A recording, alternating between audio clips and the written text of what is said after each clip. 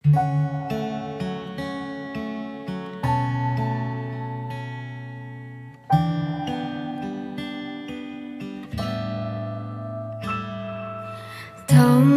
ku bilang aku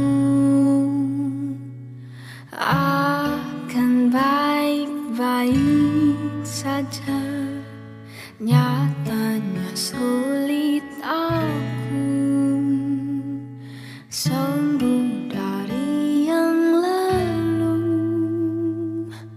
啊